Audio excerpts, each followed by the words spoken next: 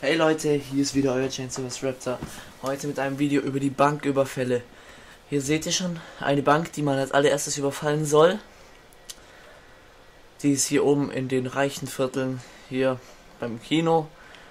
Hier ist der Walk of Fame, falls euch was sagt. Ihr könnt in die Bank reingehen, ganz normal hier Geld einzahlen, abheben. Hier seht ihr die Bank, die man voraussichtlich überfallen soll. So, dann zeige ich mal, hier geht es weiter nach oben. So, hier oben könnt ihr dann, falls es eskaliert, Deckung vor den Bullen suchen.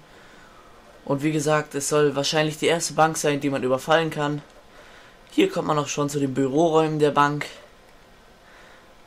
Wie man sieht, hier alles sehr detailliert. So, und hier geht die Treppen runter, hinter die Schalter der Bank. Hier geht zum Tresorraum. Aber die Tür ist zu. Es gibt jedoch einen Trick, wie ihr da rein könnt. Vielleicht klappt er nicht beim ersten Mal.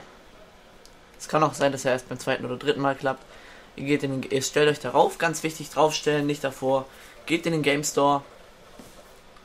Und sobald ihr im Game Store drin seid, drückt ihr einfach B oder PlayStation Kreis oder Dreieck, ich weiß es jetzt nicht genau.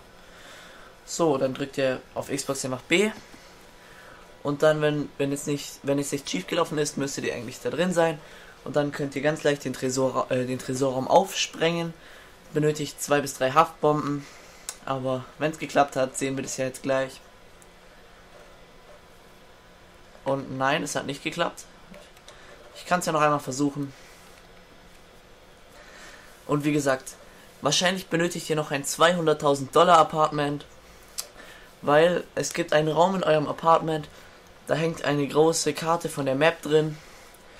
Und an der solltet ihr das voraussichtlich planen können, so wie, in den Sto wie so, so wie im Story-Modus, mit einem Scharfschützen, einem Fahrer beispielsweise. Äh, ja, das solltet ihr dann in eurem Apartment ähm, äh, klären können. Und ja, dafür benötigt ihr eben das 200.000 Dollar Apartment. Wenn ihr keins habt, dann fangt schon mal an drauf zu sparen, wobei das jetzt bloß ein Mythos ist, also Kauft euch noch nicht. Es ist jetzt der Patch 1.09. Bedeutet, ähm, das Update mit den Banküberfällen soll entweder im nächsten Patch kommen oder als DLC.